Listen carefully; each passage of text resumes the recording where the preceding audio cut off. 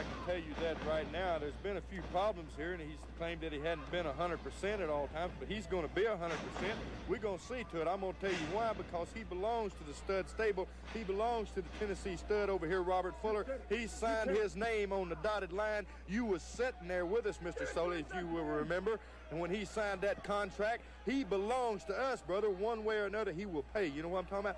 I'd like to say one other thing while I got a chance here about this King of the Thunderdome. You, there was a Tennessee stud out here, Ron Fuller calls himself a Tennessee stud, with that fat little geek, Doug Furnas, claiming they beat me in the King of the Thunderdome. Well, I'm going to tell you something. You saw the film right there, ladies and gentlemen. The man that walked out of that cage with the money was the winner.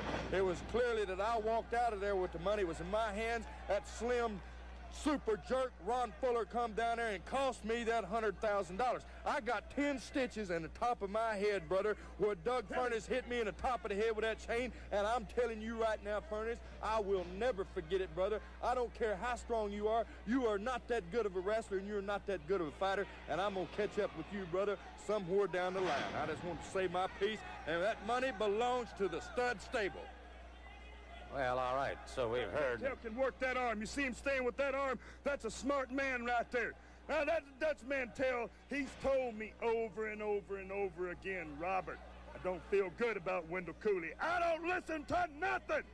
I'm going to quit getting mad, Gordon. I'm going to get even, baby.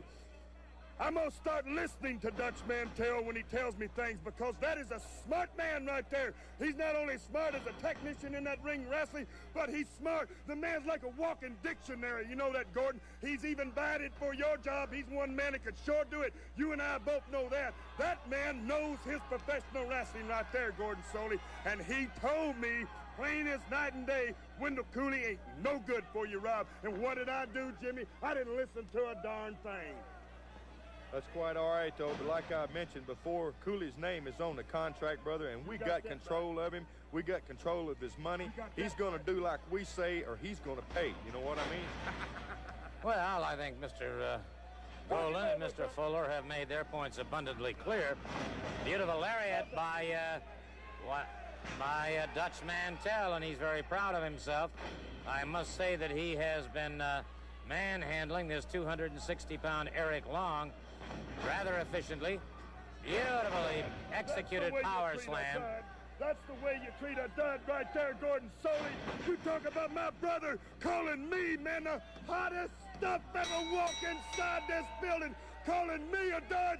You want to see a dud? He's laying flat of his back inside of that ring. Dutch Thank Mantell you. Thank you. All right, Dutch Mantell is indeed the winner.